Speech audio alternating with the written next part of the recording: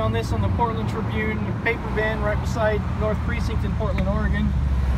Got this adorable little piggy here. It says, I found the good one. And then on the cover, you can, can hardly see through the vandalism, but it's like, disband the Portland police.